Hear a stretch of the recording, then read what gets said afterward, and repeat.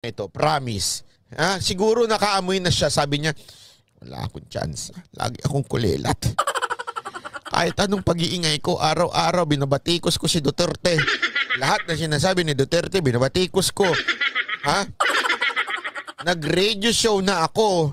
Wala pa rin nanonood. Mas marami pa nanonood kay Banat Bay. Ano nang gagawin ko? Ha? Lagi pa akong kulilat sa survey. Anong mangyayari? Ha? Ha? Kaya sabi niya, ay sige na nga, mag-rehistro na rin tayo. Pinag-iisipan pa ni Vice President Lenny Robredo kung tatakbo nga siya para sa pagkapangulo. Umaasa ang grupong isang bayan na tutuloy sa pagtakbo ang bise, pero sakaling hindi, may dalawa raw silang pinagpipilian. Nakatutok si Sandra Aguinaldo. Kahapon, bago magsara ang opisina ng COMELEC sa bayan ng Magaraw, Camarines Sur, dumating si Vice President Lenny Robredo. Ayon sa kanyang tagapagsalita, inilipat ni Robredo ang kanyang voter registration mula Naga City papuntang Magaraw dahil doon na siya nakatira.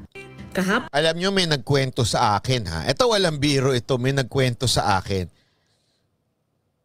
Nakwento ko na ata dito yun.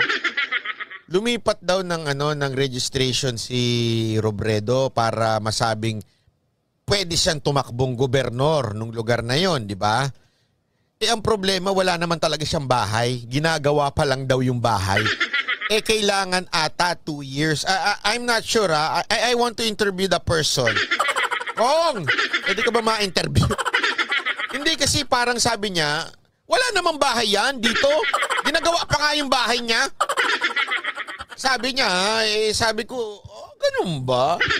Hindi, siguro, sabi niya, wala nang kapag-apag-asang manalo akong presidente. Siguro, alam mo madam, kung ako sa'yo, huwag ka na rin tumakbong gobernur. Tumakbo ka na rin barangay kagawad.